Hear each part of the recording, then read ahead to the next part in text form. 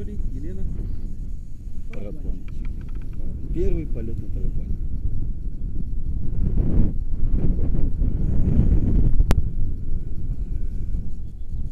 Шаг вперед.